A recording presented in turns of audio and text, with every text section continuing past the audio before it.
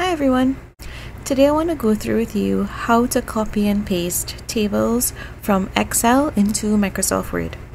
So the first thing you want to do is you want to format your table as much as possible in Excel. That's mainly because it's easier to format tables in Excel. It's not impossible to format tables in Word, but it's a little bit more challenging. So format it as much as you can in this document in Microsoft Excel. So if you want to bold your headers or you bold your totals, you can do it here. Um, if you want to add fills, for example, if you want to put a fill in here, you can put a fill before you copy it across. And you want to put a border, you can do that as well here, right? The next thing you want to do is you want to go across to your Microsoft Word document and just make sure that certain settings are there. So things like, for example, you can see your ruler and you can also see your hidden characters. If you haven't seen my videos before, there I will leave a link in the description to a video where you can find out more about viewing your ruler and viewing hidden characters. Um, a brief synopsis is that you basically go into view to view a ruler, you click on ruler, and to view hidden characters, you go onto home and you click on this reverse P, and you can see all the characters that are normally not printed. Uh, so let's start. Let's get started into copying the information from Excel into Microsoft Word. So we select the data we want to copy. Control C to copy it, and then I come across here and I Control V to paste it. And when we paste it, we notice that there are a lot of hidden characters that come up in the numbers, in the cells that have numbers in them. And that's because sometimes when you, depending on the format that you have your numbers in, in your Excel document, it can create spaces when you paste it into Word. So an easy way to get rid of that is to highlight all the cells that has numbers in them and that has spaces in them and you just go to find replace and you go into replace and you basically click a space in the find bar and you're replacing with nothing. And you click on replace all. They're going to ask you if you want to search your your document. You're going to say no. And that's basically it. So then you change your alignment because you notice the numbers are aligned on one end. So you want to align it to the bottom to your right hand side and similarly you want to align this to the bottom on your left hand side. Yeah? Um, and that's basically it. That's how you copy and paste information from Microsoft Excel into Microsoft Word. Now there are a few things here to note. Um, as you can see I can see my grid lines. Sometimes you may not be able to see your grid lines and it'll make it a little bit challenging to be able to work with your data.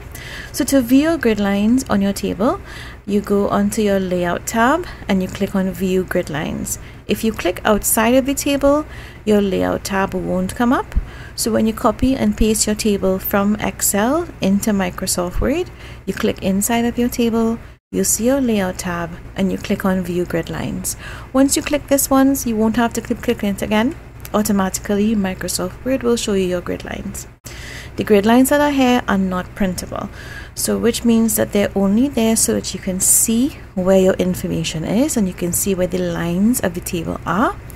And if you print it, you won't see it. So what if I want to add a total? So I come here, I add a total, format this, I sum across, I sum down, paste formatting. And now I have a total in this column. So I want to put this total here. So what you want to do is you want to click on store D and you're going to see on your quick access toolbar this symbol here to insert column to the right. When you click on that a column comes up to your right if you're not familiar with the quick access toolbar I do have a link in the description that I will add where you can have access to your quick access toolbar. Uh, this information, this, this cell can also be added by going on your layout tab and you would see the shortcut here to click to insert right. So you can either click it here or you can add it to your quick access toolbar. Right. So in order to paste the information, which is the, the sum of all the different stores, uh, we're going to copy these cells across into the column we've just created.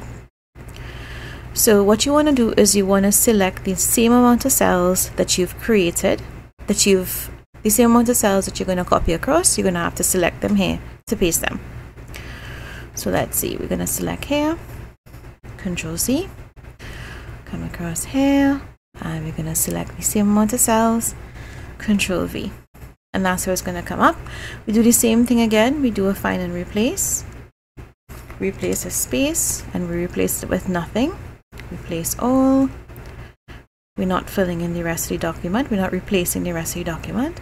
And then we're just going to align it bottom right so that everything lines up just like the other stores. And that's how you basically insert information into your table Something else you notice is that for this table, formatting of negative numbers is done using brackets.